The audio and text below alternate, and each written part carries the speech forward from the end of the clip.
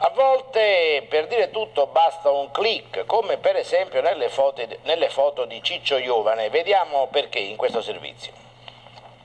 Run, run, se fue pal norte. È stato uno dei testimoni più fedeli nel raccontare la grande storia del secolo scorso, la rivolta di Budapest nel 1956, come la stagione breve e intensa del Cile di Allende, seguita dalla repressione di Pinochet.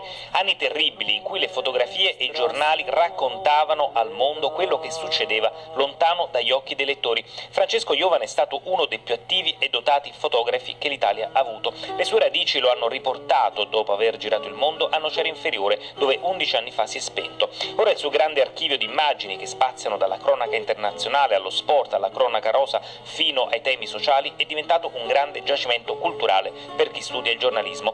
Marianna Irollo ha dedicato a Francesco Giovane una tesi di laurea all'Università Suor Orsola Benincasa di Napoli e un altro segmento di quel percorso che la Campania e l'Italia stanno facendo per tributare il giusto posto nella storia a un grande interprete del fotogiornalismo. Dai primi passi da re di Juan Carlos in Spagna ai reportage sulla Camorra durante la guerra cutoliana, tante le inchieste per agenzie e giornali italiani e stranieri. Il suo archivio diventerà presto un patrimonio digitale da sfogliare online, un patrimonio che la rete saprà divulgare e custodire.